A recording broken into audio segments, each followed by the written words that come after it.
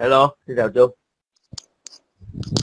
Dạ, hello, chào anh Thơ Quang, chào cô chú anh chị đang trên diễn đàn.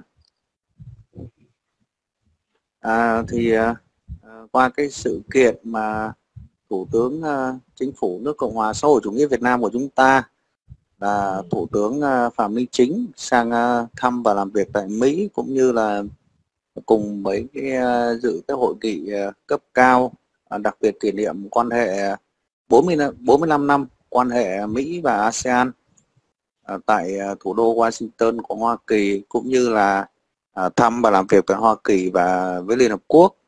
Thì em khái quát qua một chút. Ừ, thì vào lúc 1 giờ 45 sáng ngày 11 tháng 5 theo giờ địa phương, có nghĩa là vào 12 giờ 45 phút trưa ngày hôm nay, theo giờ Việt Nam À, thì uh, chuyên cơ chở Thủ tướng Phạm Minh Chính và đoàn đại biểu cấp cao đã đáp xuống sân bay quân sự Andrew, thủ đô Washington và bắt đầu chuyến thăm và làm việc tại Mỹ. À, đón Thủ tướng thì có đoàn đại biểu và đoàn đại biểu cấp cao của Việt Nam đó. Tại sân bay Andrew thì có đại sứ Mỹ à, tại Việt Nam đó là ông Mark uh, Knapper và đại sứ Việt Nam tại Mỹ là ông Nguyễn Quốc Dũng cùng với một số cán bộ và nhân viên uh, sứ quán thì ờ, theo lịch ờ, trình dự kiến thì trong ngày làm việc ngày 11 tháng 5 theo giờ địa phương thì ờ, Thủ tướng Phạm Minh Chính sẽ tiếp một số quan chức trong chính quyền của Tổng thống Joe Biden và các nghị sĩ Mỹ. Sau đó thì cũng có cái dự kiến là sẽ tiếp Bộ trưởng Bộ Nông nghiệp Mỹ là ông Tom Whitsack, Bộ trưởng Bộ Thương mại Mỹ là Gina Raimondo, rồi Bộ trưởng Tài chính là Janet Yellen rồi gặp gỡ thượng nghị sĩ ờ, Patrick ờ, Leahy và một số nghị sĩ khác của Mỹ. Thì ờ, chiều cùng ngày thì thủ tướng sẽ có bài phát biểu về chính sách tại viện nghiên cứu chiến lược quốc tế Mỹ viết tắt là CSIS sau đó là thủ tướng sẽ tiếp lãnh đạo ngân hàng thế giới và các tập đoàn của Mỹ gồm có ASEAN Group, Blackstone, Genesis và nhiều nhiều các cái cái đơn vị khác và cũng trong ờ, khuôn khổ chuyến thăm từ ngày 11 đến ngày 17 thì Thủ tướng Phạm Minh Chính của chúng ta cùng với đoàn đại biểu cấp cao của các quốc gia ASEAN sẽ tham dự cái hội nghị ờ, cao cấp đặc biệt kỷ niệm kỷ niệm 45 năm ngày ờ, thiết lập quan hệ giữa Mỹ và ASEAN. Và trong hai ngày thì ngày 12 và ngày 13 sau đó thì Thủ tướng sẽ thăm và làm việc tại Mỹ và Liên Hợp Quốc. Thì Tháp Tùng cùng với Thủ tướng thì có 11 bộ trưởng và một thứ trưởng ờ, bộ quốc phòng. Thì ờ, qua đó là chúng ta thấy cái chuyến thăm thì cũng ờ, rất là là nhiều các cái bộ trưởng uh, liên quan đến các cái vấn đề đặc biệt là như bộ trưởng bộ công thương hoặc là các cái bộ trưởng về các cái vấn đề như tài nguyên môi trường hay là uh, bộ thông tin và truyền thông rồi bộ nông nghiệp phát triển nông thôn bộ khoa học công nghệ bộ trưởng bộ công an rồi bộ ngoại giao và rất nhiều các đơn vị khác và và thống đốc ngân hàng nhà nước Việt Nam thì trong đó có một thứ trưởng đó là thứ trưởng bộ quốc phòng là thượng tướng ờ, Phạm Hoài Nam. Có nghĩa là có rất nhiều lĩnh vực mà qua đó là sẽ cùng ờ, ờ, hội đàm cũng như trao đổi và đạt được những cái thỏa thuận nào đó. Thì em cũng hy vọng là sẽ có những cái buổi làm việc uh, mang lại những cái nguồn đầu tư hay là thu hút các cái doanh nghiệp của Mỹ đến ờ, Việt Nam thì cái này cũng rất là tốt.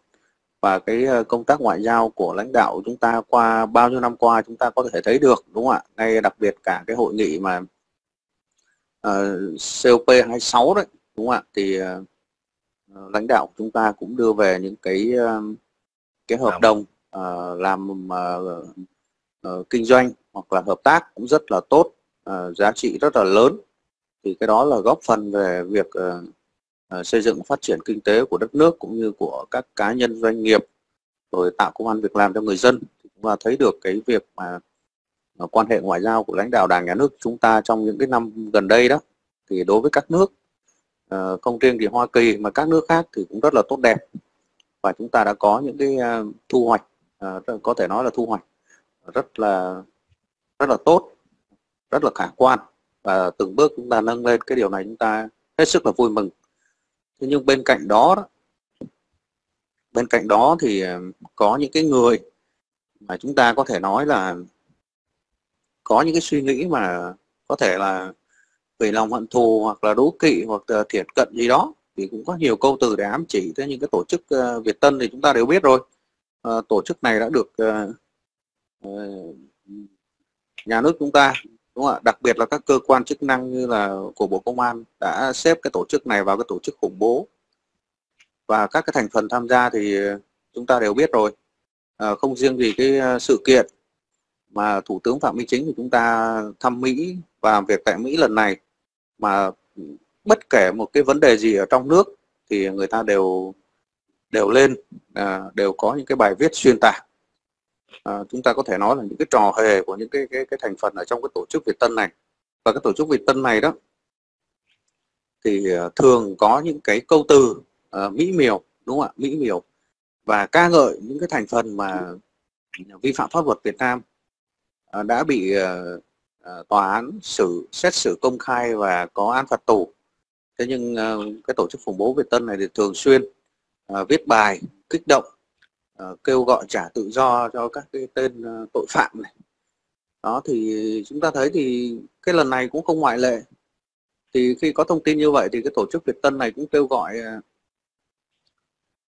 những người mà mà không có thiện cảm với nhà nước chúng ta ở Mỹ đó tham gia biểu tình. Thì chúng ta đều biết rồi biểu tình thì chắc chắn là sẽ có quyên góp thôi và chúng ta đã nghe đúng không chúng ta nhớ là cái năm 2005 đó người ta cũng kêu gọi 70.000 đô để đăng bài thế này thế kia nhưng mà cũng chả thấy gì cả. Thì cái này có dẫn chứng rồi. Chúng ta có thể tìm hiểu thêm. Thì chúng ta có thể thấy được là ừ, mục đích của người ta là cái gì đúng không ạ? Mục đích người ta gì? Người ta mặc dù người ta kêu gọi là là biểu tình để để chống đúng không ạ? Chống à, lãnh đạo à, chính phủ của chúng ta. Thế thì chung, thử chung, hỏi là chung, dạ. anh, anh anh xin à, bổ sung cái điểm này nè tức là trung trung vừa nhắc và kể cả ở đây trong đoạn clip về uh, nam đô cũng có nói à, tức là về nội dung năm hai năm hay gì đó đúng không là cái tổ chức Việt Tân cũng đã có sự kêu gọi quyên góp để đăng bài với nội dung gì đó trên tờ báo Washington gì đúng không ạ? Với giá là 70.000 USD đúng không? Đúng không? À, người ta kêu gọi là 70.000 đô đó. À nhưng mà ý là cái cái giá đó để để được cái bài đó được đăng trên trang báo của Mỹ đúng không? Cái bài mà nội dung của Việt Tân muốn đăng á để đưa lên trang báo của Mỹ đúng chưa? Đúng không?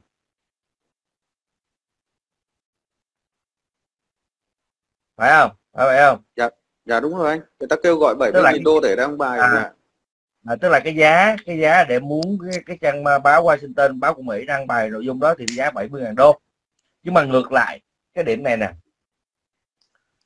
Thì bọn họ lại mang cái điều đó họ đi mị dân lừa đảo những người dân thiếu hiểu biết ở trong nước chúng ta là gì?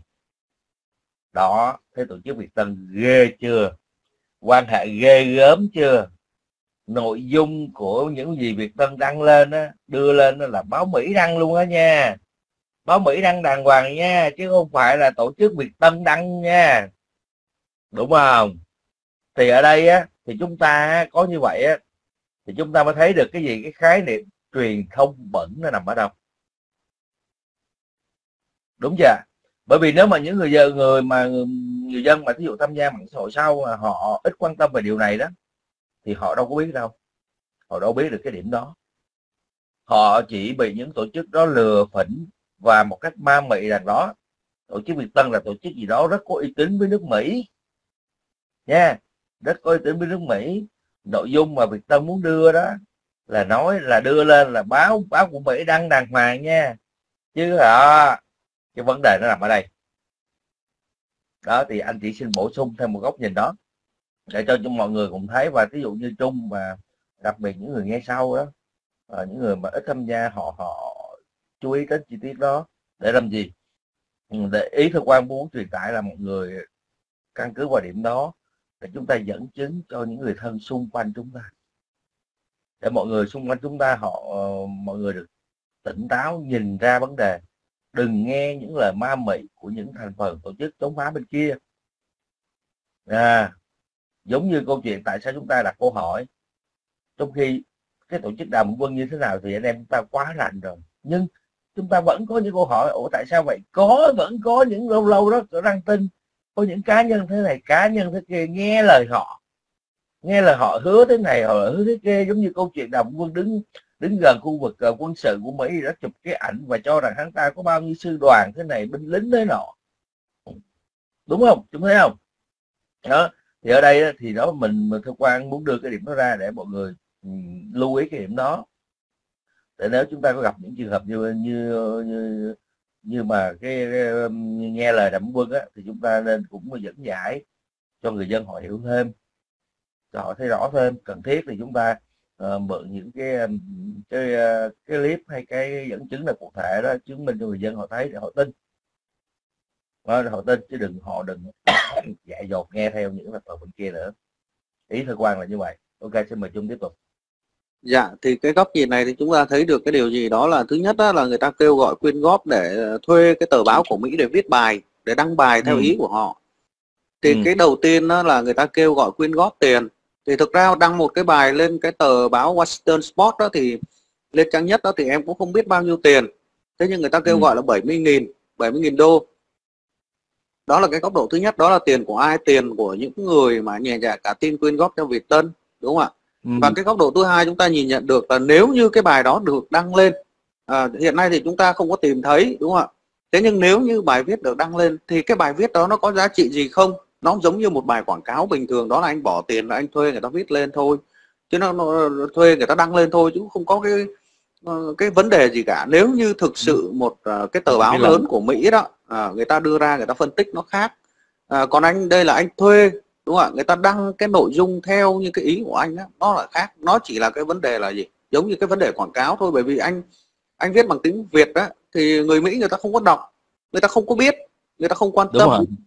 đấy mà anh mà viết bằng tiếng Anh đó thì cũng không biết là có viết được hay không thì em không dám khẳng định. Thế nhưng mà thử hỏi nếu như mà đăng như vậy lên á thì cộng đồng người Mỹ người ta có có có đồng ý cái việc đó không chúng ta cũng phải tìm hiểu một chút mặc dù ở Mỹ là tự do báo chí nhưng nếu như đăng lên trang nhất của một tờ báo có thể nói là có uy tín ở Mỹ chẳng hạn thì cái nội dung đó nó có đáp ứng với cái nhu cầu của người Mỹ không? Người dân Mỹ đại đa số không? Hay là gì ạ? À, người ta sẽ không chấp nhận cái điều đó? Thì chúng ta cũng có thể đặt ra một cái câu hỏi theo cái chiều hướng như vậy.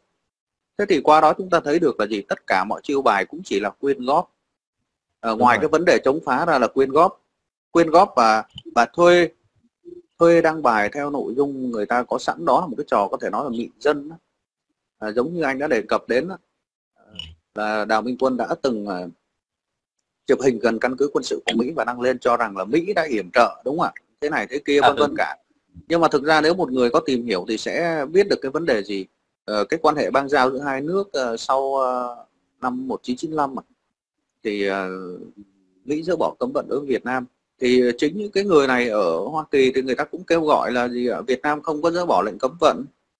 Rồi là khi mà Mỹ người ta thông qua cái dự luật mà để uh, dỡ bỏ cái lệnh ờ, cấm mà mua vũ khí của Việt Nam cũng vậy thì người ta cũng phản đối.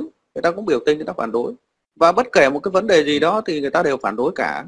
Thế thì thử hỏi là người ta có vì vì đấu tranh vì người dân trong nước hay không? À, khi mà chúng ta nhập hàng hóa sang đó thì người ta biểu tình người ta cũng phản đối người ta cho rằng đồ cộng sản là thế này thế kia không tốt mà à, khổ cái là nếu mà tìm hiểu thì chúng ta sẽ thấy thôi à, nhà nước người ta đâu có trực tiếp người ta đi sản xuất hay người ta làm các hàng hóa đâu mà đó là do những người dân những cá nhân hay là những cái doanh nghiệp do người dân người ta xây dựng người ta tạo dựng cái cơ đồ người ta lên người ta làm và người ta xuất khẩu thì cái việc đó là thu nhập chính là vẫn là của các cá nhân doanh nghiệp à, ngoài cái vấn đề đóng thuế ra thì thu nhập chính là của những người dân và doanh nghiệp đó thế nhưng người ta vẫn cứ phản đối vậy. Thì bất kỳ vấn đề gì ở Việt Nam chúng ta thì người ta đều xuyên tạc và phản đối và người ta đều có những cái bài viết người ta nói không có đúng sự thực. Thì chúng ta tìm hiểu chúng ta biết thôi cũng không có gì là khó cả. Rất nhiều các sự kiện à, sự kiện Covid ở chúng ta cũng vậy thôi. À, khi chúng ta làm tốt thì uh, các cái thành phần này nó bảo là Việt Nam chúng ta là không có tự do mà khi chúng ta tiêm vaccine đảm bảo rồi ờ, để cho người dân đi lại tự do làm ăn mà số ca nhiễm gia tăng thì nó lại viết bài nó bảo là Việt Nam chúng ta là không biết cách chống dịch đúng không ạ? Đó là cái cái luận điệu của những cái kẻ chống phá có nghĩa là cái kiểu gì nó cũng chống là kiểu gì nó cũng phá. Anh làm tốt nó cũng cũng bảo là xấu mà anh làm xấu rồi nó bôi cho nó càng xấu luôn. Đó chúng ta có thể dẫn chứng nhiều cái cái cái cái vấn đề mà chúng ta có thể thấy được. Ví dụ như hiện nay chẳng hạn các cái công cuộc điều tra uh, của của các cơ quan chức năng người ta điều tra các cái vụ như Việt Á hay là các cái vụ liên quan đến uh, những cái sai phạm đất đai hoặc những cái vấn đề sai phạm khác ở trong nước đó kể cả như trường hợp của uh, Trịnh Văn Quyết FLC chẳng hạn vân vân cả. Thì các đối tượng này nó đều lên nó viết bài nó xuyên tạc nó đều cho rằng là những cái cá nhân hay những cái doanh nghiệp đó là sân sau của lãnh đạo này lãnh đạo kia vân vân cả. Trong khi đó nó chả có cái cái gì để chứng minh cho cái điều mà nó viết cả? Thế nhưng cái sự việc uh, diễn ra như ở Mỹ mà như vậy á, thì nó im nó coi như nó không biết. Thì cái cái góc độ đầu tiên là chúng ta thấy được đó là gì? À, nó mặc dù là nó cứ nói là nó là kênh truyền thông thế nhưng nó không mang được cái tính đa chiều và nó không có sự phân uh, phân tích khách quan. À, thỉnh thoảng là lại có những cái bài viết là theo tình báo Hoa Nam đúng không ạ? Tình báo Hoa Nam là ai? Đó là Trung Quốc à, người ta vẫn gọi Trung Quốc là tình báo Hoa Nam. À, thế là Việt Tân có liên hệ với tình báo của Trung Quốc à? Mà tại sao lại theo tin tình báo Hoa Nam? Mà chúng ta thấy một điều rất vô lý đó là gì?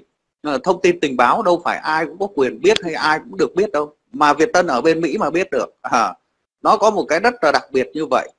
Và trong thời gian gần đây đó thì cũng thường xuyên là gì ạ? Xuyên tạc. Không những xuyên tạc vấn đề này mà tất cả những vấn đề khác bọn chúng đều lên viết bài đều chống phá và đều nói xấu.